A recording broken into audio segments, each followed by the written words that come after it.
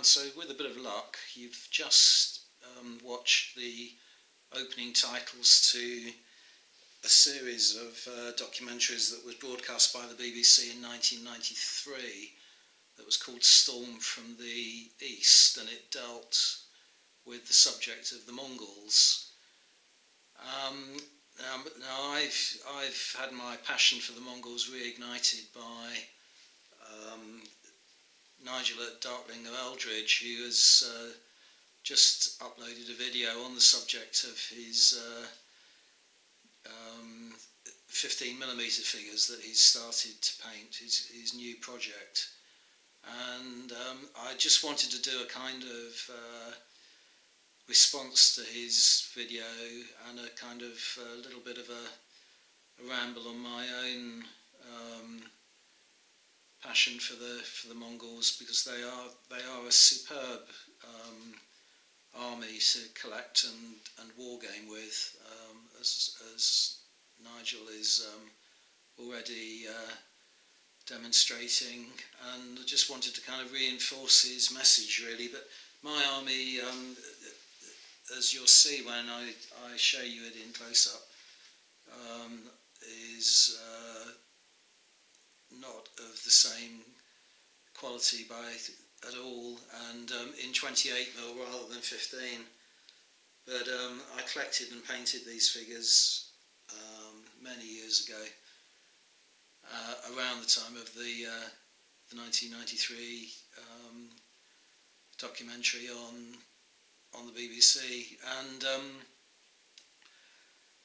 I've still got to paint, as is my want. I I've purchased lots of figures when I buy armies and uh, never get around to painting a tenth of them. So I've got probably five times the amount of figures that painted as unpainted. Um, sorry, the other way around. I've got five times as many unpainted as painted. Um, so really, just a, short ramble on, on Mongols then. Um, I, I think they just stimulate so so much in the way of um, creativity in terms of of um, how you can play with them, what armies you can put together, how you can paint them, and and it also it's just such a wonderful story. Um, it it reminds me really of my um, obsession with complexity theory, really, that, that um, the Mongols um, just seem to explode out of Mongolia at the beginning of the 13th century. And um, their empire, the land empire, it stretched all the way from China and Korea across Central Asia to um, the Middle East and up into uh, the Ukraine and Russia. Um, and at one point, they had defeated the Polish army and the Hungarian army, and there was nothing. Um, there was nothing between them really and the Atlantic Ocean, so they could have they could have pressed on and and um, conquered an empire that stretched all the way from France to China. Um, it was only the, the, the, a quirk of fate that um, the Khan of the time, Ogadai, died and the armies withdrew um, from from Hungary and pulled their armies back into the um, the area around the Don River um, while they while they um, went back to um, Mongolia to uh, um, elect a new Khan, as it were, that stopped that stop that uh, final catastrophe. But it does mean that that that I mean, I, mean I, I, think you can hear it in sort of what Nigel's saying already. That you start to you you, you begin with a sort of small army, and immediately the, the possibilities of where you can campaign with it just explode.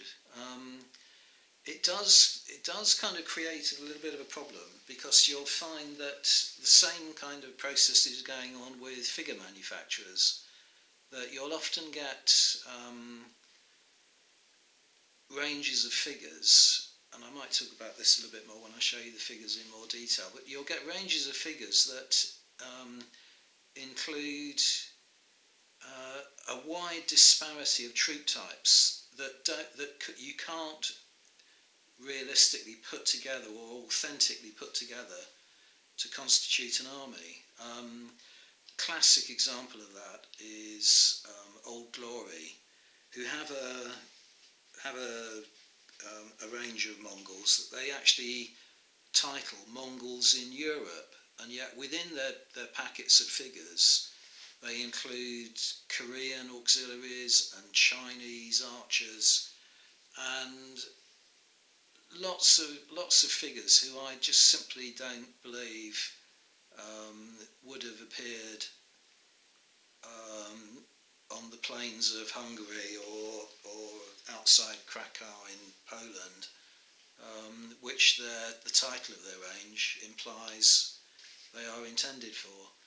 Um, but you find that in other ranges as well. I might I might sort of talk about that a little bit more um, when I show you these figures in, in a little bit more close up. Um, but that, that really is the, the temptation and the, the fun of, of uh, wargaming with um, Mongols, but it, it can also, as it has done me, with me, it, it can lead you off in too many, down too many avenues so that you don't focus on one particular um, theme of the Mongols. And then, of course, um, the, their, their influence didn't only spread over such a huge distance, but it also lasted for centuries and centuries. So as as time goes on, you'll find um, that the Mongol the Mongols conquer an area, settle in that area, and then alter in the nature of their armies and um, and so on, so that um, it's very it's very period specific as well. Um, so, for instance, um, the Mongols who settled in the in the sort of Middle East, in the area that is now Iran and Iraq and so on, um, under Hulagu, um, that became known as the Ilkhanate. They, ado- they adopted the Muslim religion and their dress and so on altered their fighting style, changed to an extent. Um, and then after that, in the same area, you get sort of you get um, other empires emerging, such as Tamerlane and the Timurids. Um, his range of conquests extend even further than um, the original Mongol invasions. So he invades India. Um, th then after that, you get other um, descendants of um, Mongols, um, both, via Timurid and via Genghis Khan. Um, and from them you get the emergence of the Mughals, who then go on to uh, invade India themselves from their kind of um, original kind of power base really around Afghanistan. Um, and they of course then spread into the whole uh, the whole of India of India, um, and the Mughal dynasty lasts for several centuries as well. But by that point, um, their dress and their um, weaponry has morphed in, entirely from the original um, Mongol um, armies. In China, you get uh, the Yuan dynasty and Kublai Khan, who is a descendant of Genghis Khan. But again, um, there's a sort of dichotomy between um, the Mongol leaders who want to remain more firmly attached to their steppe culture and um, the, the, faction that prevailed under Kublai, who um, settled down with China as their power base. Um, so they become far more of an Oriental um, character for their armies. Um, they then go, Kublai then goes on to attempt an invasion of Japan, and although his two attempts fail, um, that has a, a knock-on influence in in Japan and in the in the whole uh, national identity of Japan, in that they see that they see a divine favour in the fact that um, Kublai's armies are um, repulsed um, so there's a knock-on influence all the way from Japan. So you get you get this spread of influences and inf- impacts and effects rippling around virtually the entire known world. Um, other other um, uh, influences in places like Vietnam and and uh, the Indochina um, area into Tibet, all kinds of places. Um, and it, as I said earlier, it reminds me very much of my um, my passion for complexity theory. That just one one or two small events in one part of the world, um, Genghis Khan or Tamerlane managing to unite the the Mongol tribes together and that and then that that sort of relatively small um, beginning rippling out and exploding permeating so many different areas and having so many diverse and different effects on different parts of the world that um, last right down to the present day that um, you can still see that uh, Tartar influence in in Russia today, in places like Iran. Um, there is still a, a kind of physical appearance. You can see you can see sort of physical uh, reflections of of uh, the Tartar um, spread into those parts of the world. Um, you, you can still have you can still incorporate Tartar armies into um, the Renaissance period, the, the Eastern Renaissance. So um, you get Tartars serving as auxiliaries for the Poles and the Lithuanians, um, fighting against Cossacks in the 17th century. Um, just goes just goes on and on.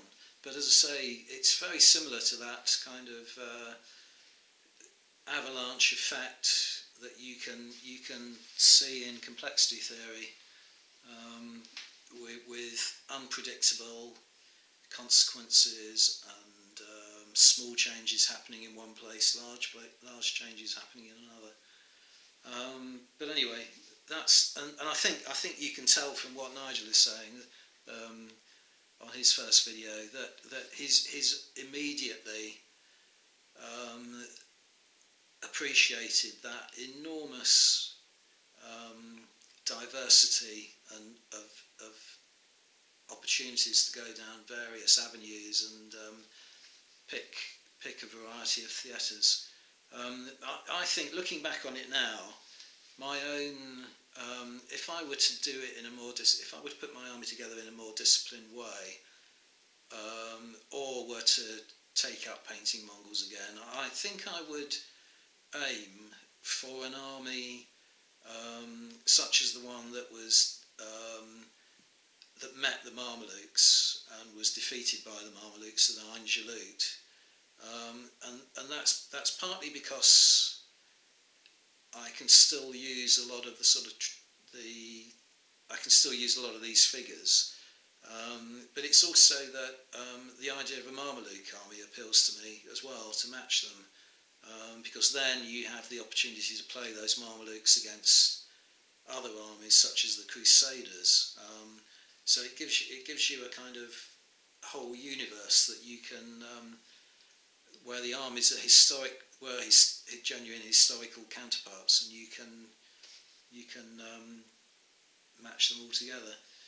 Um, but anyway, I'll stop waffling. I'm going to take the uh, the camera off its stand and then show you the figures in a little bit more detail and talk about talk about various things as I pan the camera. Right, so there's bound to be a little bit of um, shake on the camera now, so I'm holding it by hand. Um, we'll start off in the centre of the table then. So I've got three command stands. And they come from a variety of ranges. Um, even though um, I can be quite disparaging at times about irregular, I really do think that um, irregular have the best and most accurate depictions of a Mongol army um, that you can find in 28 millimeter. Um, that's partly because they match my um, notion of what a Mongol army should look like. I mean, I've spoken about this previously on a, a, a wargaming ramble that I did on YouTube. Um, but I really think irregular, some of the irregular sculpts are really clumsy, really crude. Um, but they do have a nice um, representation of of, um, of and a nice variety of figures. So in this centre stand here, three out of these four figures are from irregular. The only one that isn't is the Nakara Drummel, drummer, which is a Dixon's figure. And I really dislike Dixon's now, I have decided. Um, but this particular figure, I don't mind. He's one of he's one of the better um, figures from Dixon's Mongol range. Um, but if you can see in the background there, make a note of that guy holding the uh, the eagle or whatever it is, some kind of bird of hunting bird of prey. Um, because this is another reason why I like um, Irregular, is that they have copied um, some illustrations from one of the Osprey books, and um, coincidentally, this is exactly what Nigel was saying about um, his Legio Heroica figures in 15 mil. You can see a very obvious influence um, on those 15 mil figures as well from Osprey, and it just it just sort of helps to resonate a little bit and helps your enthusiasm to grow. If you can see um, if you can if you can see a picture in a book that resembles the figure that you're painting so closely um, and in Irregular's case there's quite a lot of those. There's another example again I've spoken about this on a previous um, episode but there's another example there of uh, the Mongol on horseback leading to um, Middle Eastern captives. That's an exact copy of um, of an Osprey illustration, as I think is that guy there holding the banner. Pretty sure he appears in one in the in the Osprey book that I've got as well. Um, the figure at the front there isn't irregular. He is a Steve Barber figure, and um, this is another reason why I do purchase so many figures when I have the opportunity because Steve Barber had a fantastic range of Mongols. Uh, all these heavy cavalry in the next rank there are from his range and it's not produced anymore. He just seems to have discontinued it. I just simply don't know why.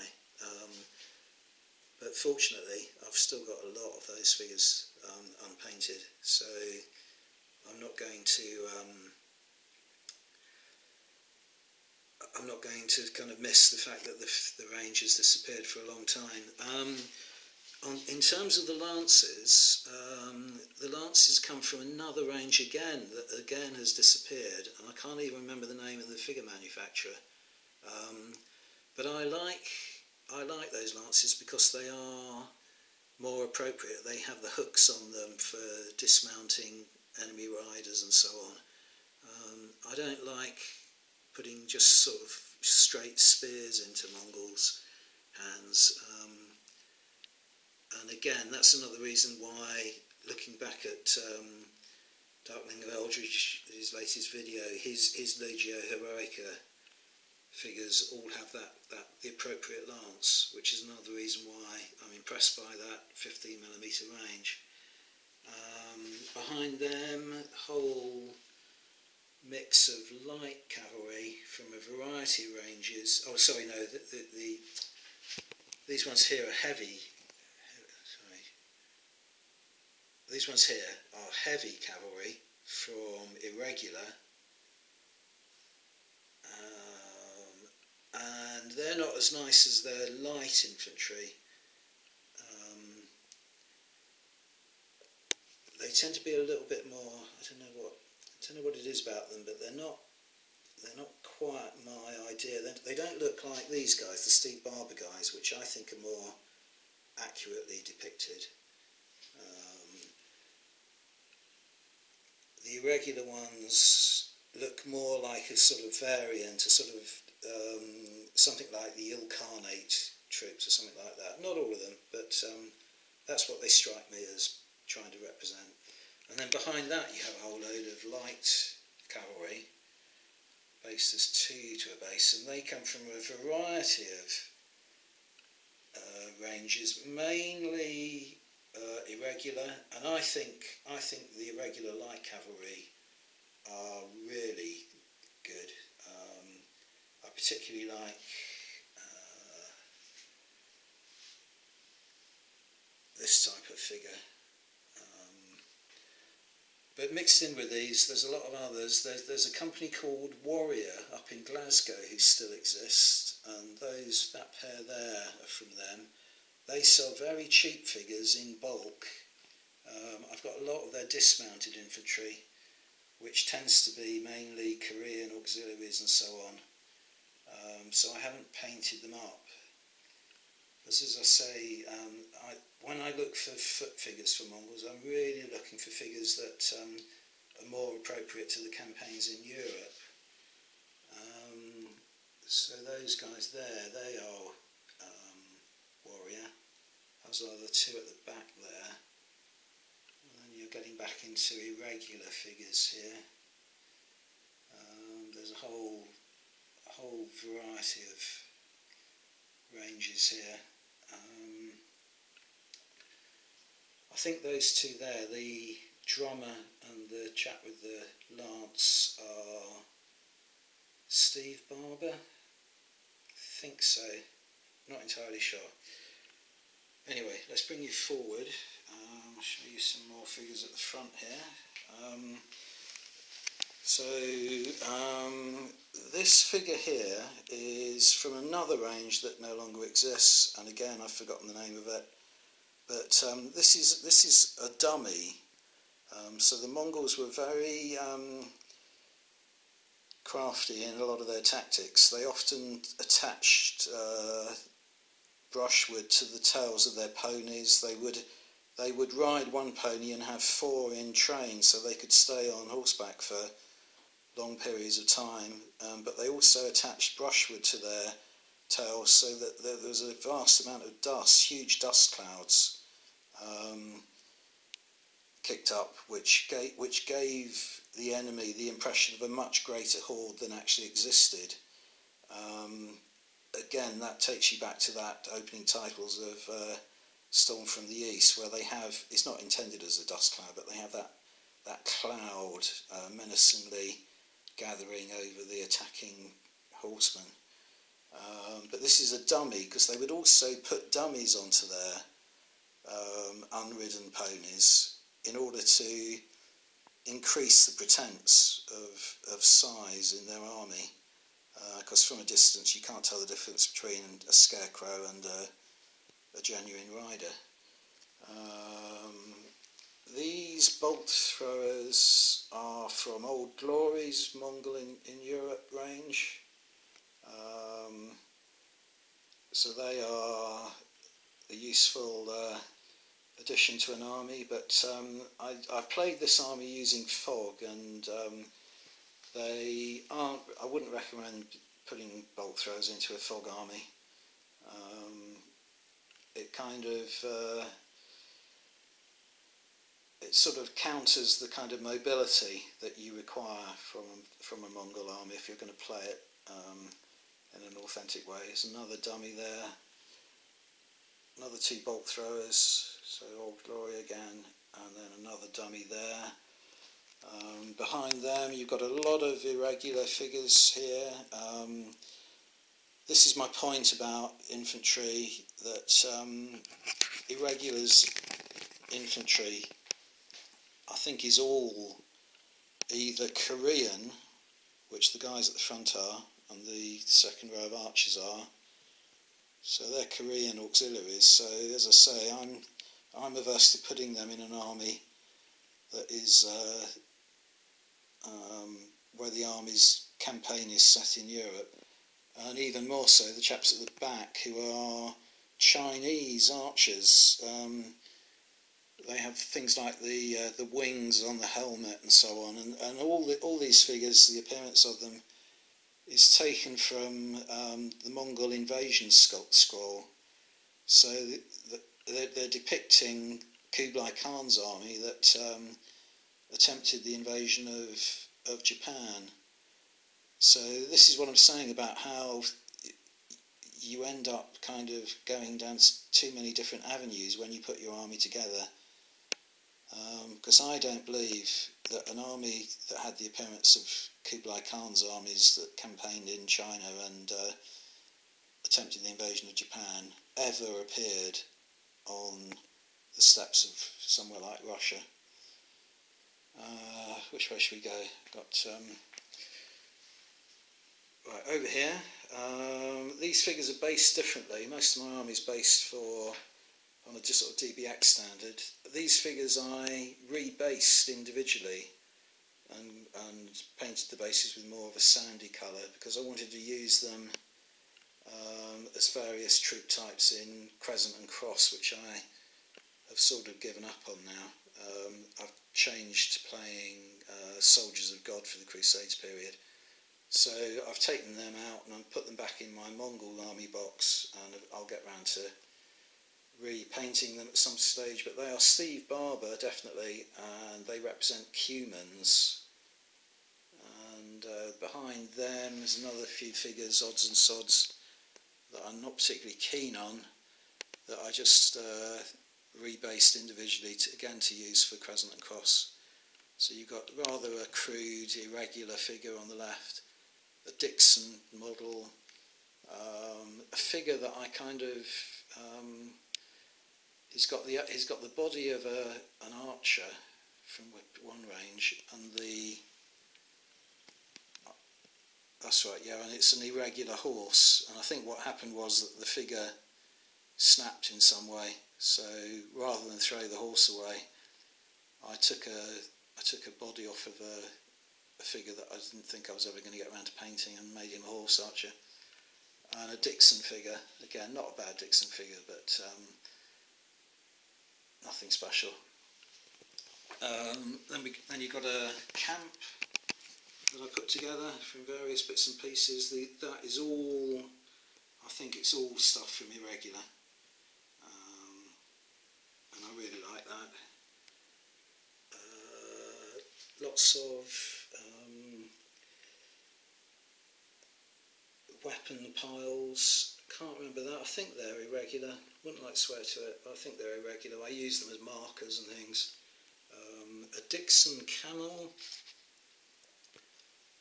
could be used for a lot of variety of, but it does come under their under their Mongol range. But um, you could use that for a variety of things. A couple more figures from irregular guarding, a couple more yurts from irregular. Um, while I'm over this side of the table, I'll just show you these figures, but I really hate these. Um, this is what I mean about Dixons. These are all, these are three of the Dixon Mongols, and I can't, I don't understand why anyone buys Dixon figures. They are so sort of lumpy and oh, I don't know, and the horses look ridiculous. I mean, at least they've covered these horses with armour, but I think their horses look more like My Little Pony or something like that. I just don't, I don't understand why anyone um, likes Dixon. I mean, at one time they were the only range the way you could get a, a, a good sort of collection of samurai together, but they've got such a distinct and unrealistic appearance, and it just doesn't appeal to me at all. Um, so I painted these up a long, long time ago when I was desperately searching for ranges of figures, and I will never, I will never play with them again. Um, but I don't have the heart to throw something I painted away. Um, right, and then over the other side of the table, um, some more figures from Old Glory. Now these are the kind of foot figures that I like. So these are from the Old Glory Mongols in Europe range. They do do a lot of, as I say, a lot of Koreans and Chinese and so in the in their range, which I don't think is appropriate. But if you're going to put Mongols on foot, then this is what I think they should look like. Um, and I particularly like the drummer it's sort of a, a little vignette almost. It's two people carrying the drum in, uh, with on rope, with the drummer walking behind them, beating the drum, and a command figure there as well. Um, so I like these. I think these are good. I'll definitely uh, get more of those. Um, and then right at the back here, finally, there's a whole load. Again, I rebased these for um, crescent and cross, I think. Um, but really, these figures, again, I think the range is called BB. This is the range that I got the spears from. Um, no longer available. But to my eye now, I think these these would do for a Chinese kind of army, um, Kublai Khan Yuan period, I think, especially the that helmet.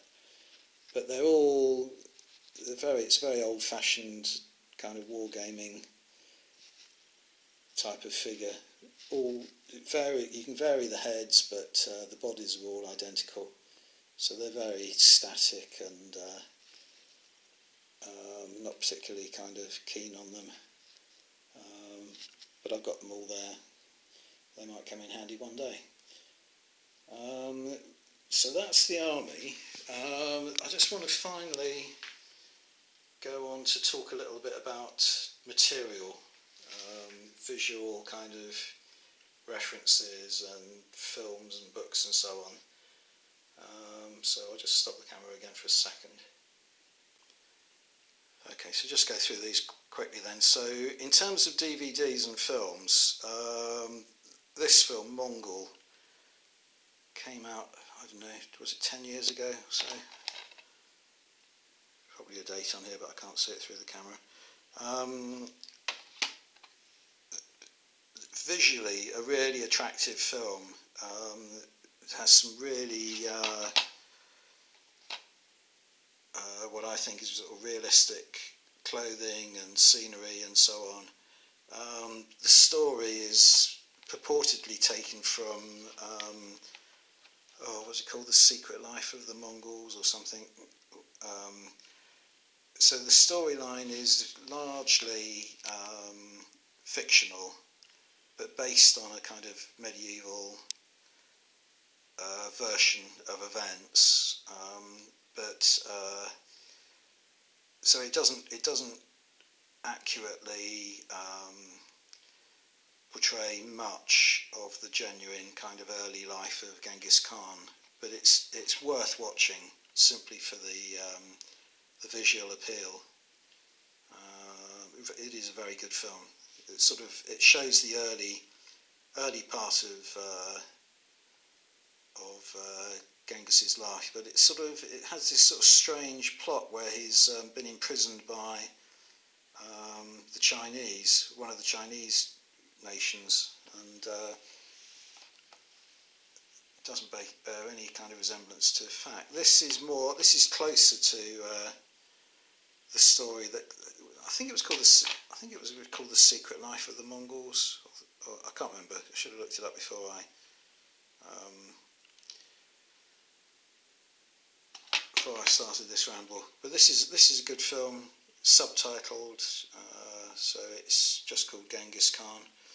I mean, of course, a lot of your older generation will remember uh, Omar Sharif starring as Genghis Khan in the 1960 film of that title. Um, totally ridiculous film. Um, this is a good example of, um, I really like this film, it's called Warriors of the Steppe and it's a fictitious story um, but set in Kazakhstan. Um, so this is of later period, I suppose, I don't know, 14th, 15th century. I think if I remember rightly, there's dynamite in there in, in, in one place where they blow up a, a magazine. But um, it's an example of, um, I'll try and put up a, a still from this so you can see what I mean, but it has some really good uh, battle scenes and um, it gives you a really good sort of taste of uh, Mongol armies fighting and so on. Um, but it's really a, the Kazakhstan Kazakhstani resistance to a Mongol tribe. Um, on the way of books, I haven't got that much. Uh, got this one, Leo de Hartog's Genghis Khan. I'm just going to stop that noise for a second. Sorry about that, my fridge is very noisy and it always kicks in at the worst possible moment. Um, yeah, so this was written,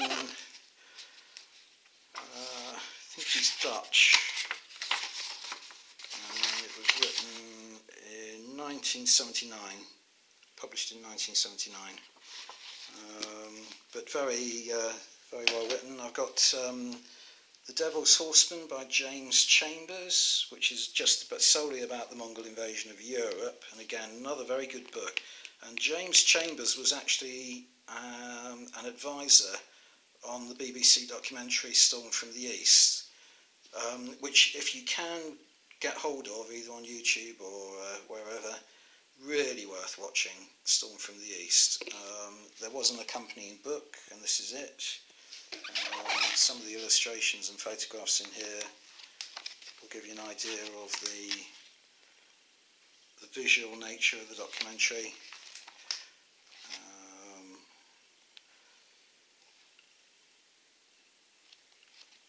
Thought it was wonderful, wonderful series. I was watching it again the other night. Um, stimulated by um, Darklinger Aeldridge's video.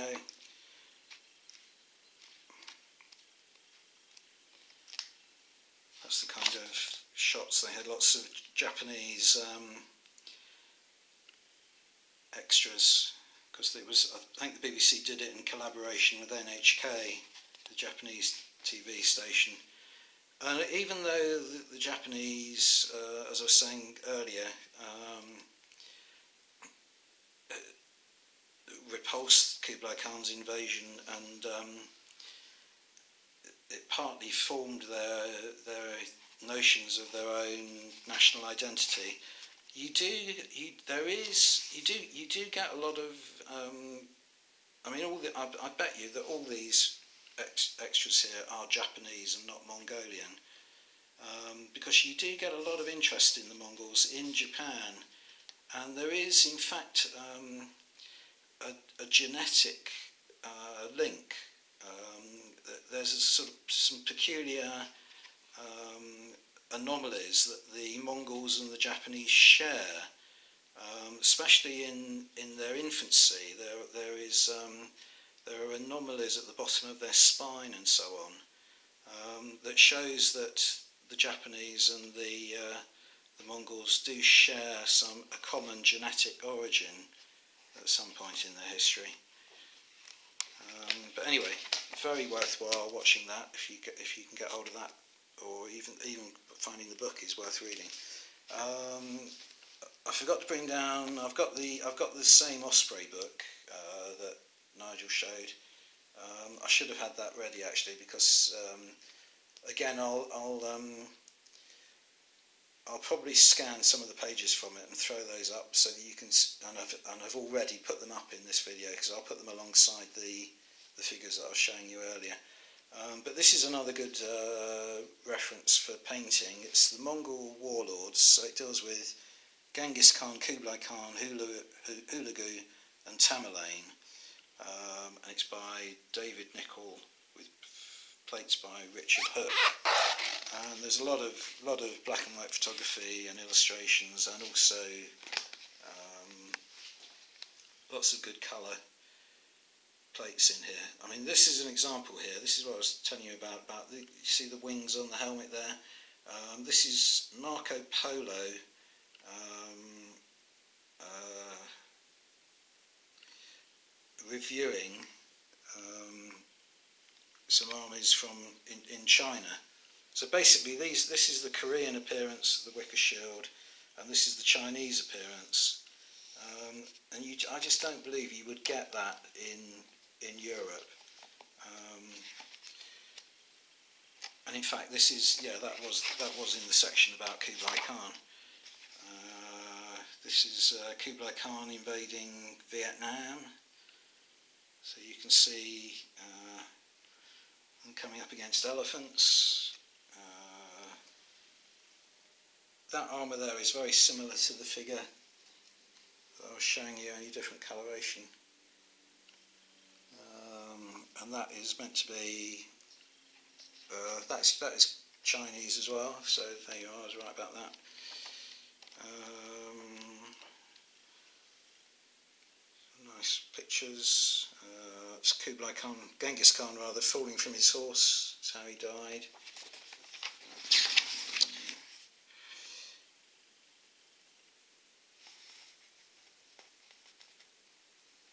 That's Genghis Khan and his friend uh, Jelmi, who I believe uh, they fell out and he killed him eventually later life. But um, anyway, that, that shows you some of the uh, illustrations from that book. So well worth well worth finding if you're if you're going to paint a, a Mongol army. And I also had um, lunch. I also had this, which is written by a wargamer, um, Michael Sace. Um, it's typical of the, the sort of literature that you used to be able to buy 20 years ago that's not sort of profitable for people to produce now. Um, but as he says in, it's all black and white and just maps and so on. It's about ways of wargaming. Um, Mongol armies and so on. So it's really uh, an extended article that you might find in a magazine nowadays. Um, but he says here it's been narrative has been specifically written for the wargamer, um, and as such contains as much information as has been possible to find a number of maps, both as visual aids in tracking the progress of each campaign and suggested war games terrain. So um, can't even remember where I got it from now but um, you might find that on a bring and buy somewhere if you're lucky. Anyway, that's the end of uh, that's the end of my long waffle on on the Mongols. So um, really looking forward to uh, seeing more output from uh, from Darklinger Aeldridge because he's got such a superb style of painting and it it really matches what you need with the Mongol army as well. He's very good at producing kind of suppressed colours and, uh, and showing textures and furs and, and hides and so on and um, uh, representing wear and tear and uh, the sort of dirty grubbiness that you get from a, a, long campaign. Um, so he's going to do a fantastic job, so keep an eye out for his videos. And I can feel I've really got to get out some of my unpainted figures now and get to work on them. Um, it's another kind of itch I now have to scratch again. Um, so in the future I might be putting up updates on uh, fresh figures that I've painted. So thanks so much for watching everyone and see you on the next video. Bye for now.